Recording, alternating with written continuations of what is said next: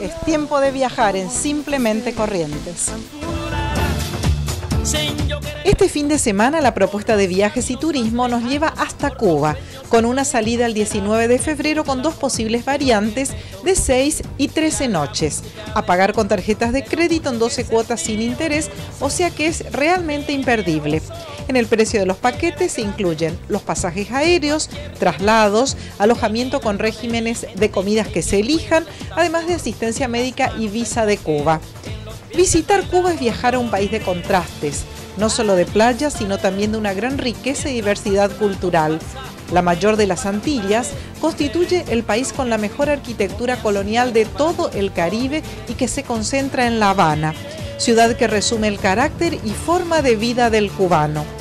Además de la vieja Habana, cuyo casco viejo ha sido declarado Patrimonio de la Humanidad por la UNESCO, la ciudad tiene lugares de interés para el turista como Centro Habana, Vedado, Miramar y el famoso Malecón. Es un lugar muy pintoresco y se puede disfrutar de una población que bebe ron, fuma puros y se divierte hasta altas horas de la madrugada al son de la mejor música latina del mundo. La playa de Varadero, también conocida como Playa Azul, es el primer destino turístico de playa y sol en Cuba, el segundo en importancia en la isla y el mayor de playa y sol en todo el Caribe.